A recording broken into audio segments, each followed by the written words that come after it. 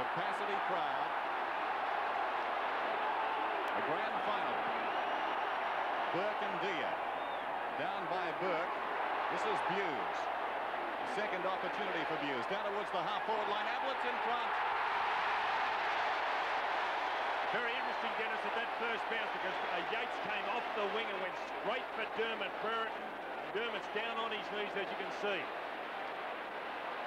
Gary Ablett will go very close from here, from about 52 metres. Long, probing kick. It's home.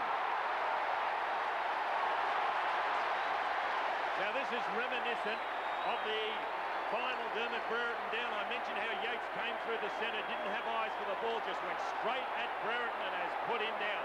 A bad miss for Hawthorn because he's the one who can really get them going. Now watch